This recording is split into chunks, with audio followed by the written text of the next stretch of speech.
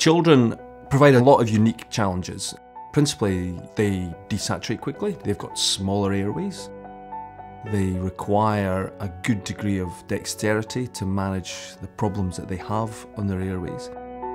Intubation is one of these areas in which they also provide a, a certain degree of psychological anxiety because this is a, a child, this could be very close to your heart, and so therefore you're very worried about this child going off to sleep. The Royal Hospital for Sick Children is a tertiary referral paediatric centre in Scotland. We supply the southeast of, of Scotland for general services and we provide tertiary services for the whole of Scotland. Children traditionally require different equipment, different laryngoscope blades, different sized tubes, and so therefore people are generally get themselves quite anxious about doing children. One of the unique challenges to paediatric anaesthesia is the, the, the range of patients that we see. You can have, be dealing with a tiny, tiny baby or an adolescent rugby player. The variety of size of children means that you've got to change your blades for each individual size, so therefore you can't use a large blade on a very small baby, so you would have to change that. And it therefore means you're looking down a deep dark hole with a slightly different technique, which actually makes the whole process a little bit more challenging.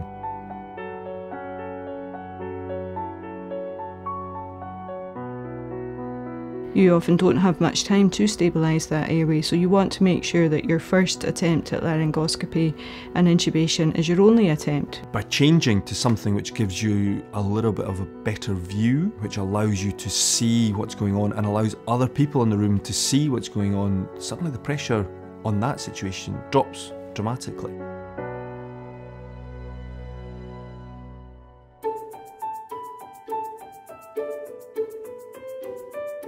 We were very lucky to have seen the original uh, McGrath uh, laryngoscope when it came out. And we really worked with the company to try to push the boundaries, and with that, we were able to help in some of the development of the Mac 1 blade, which we've had great results with. And we now have McGrath MACs within every theatre and plus in all our emergency equipment. The McGrath MAC from our point of view, is a great piece of equipment we can use daily without having to have it sitting on a difficult airway trolley and only used on difficult patients. We find that we get a more optimal view of the larynx first time. We find that the view is not only visually better but is also functionally better. That means that we can actually view our target and safely intubate it easier. The ODPs are now so familiar with us using it they can see what I can see and they know what I'm going to need. And we're so lucky, you know, our ODPs, we're in complete symbiosis with them. They know they are our right hand men and women. I think as an ODP, the main benefit for us is that we can actually see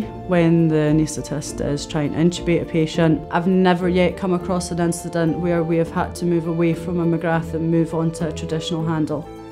With trainees, previously to actually be standing beside that person and not see what they actually see.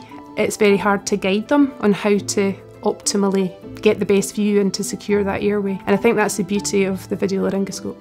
The pressure was off because you could see what they were seeing and you could relax knowing that they were able to intubate patients while you were keeping an eye on what was happening.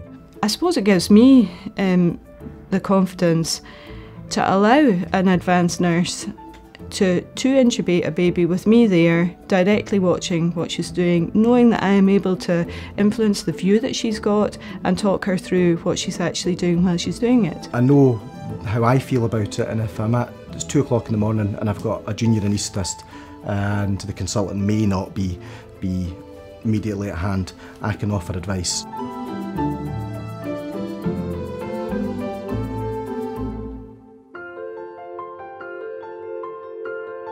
I think the Sick Kids in Edinburgh is enormously encouraging of technology and innovation. We have very forward thinking, innovative staff across the board, and I think that makes us do the same. Once you get your consultant job, that's not the end of your learning, it's a lifelong learning to always be enhancing and looking for ways to make um, treatment for for children or any patient um, safer and better quality. We live in a very challenging time whereby new techniques generally mean a greater expense and sometimes there is a, a challenge with trying to get them through But thankfully, within this hospital, if we have new techniques that we wish to try, we are given the scope to do those to see if there is an actual benefit. Having you know technology just for technology's sake is not necessarily a good thing, but utilising technology which is out there and trying to get the best for our patients is one of the main reasons why things such as video laryngoscopy has made such an important part in our departmental profile. Being a consultant the last 10 years, I could count on the fingers of one hand the number of things that have brought something totally different to the table. This is a technology that we've embraced that has definitely enhanced practice.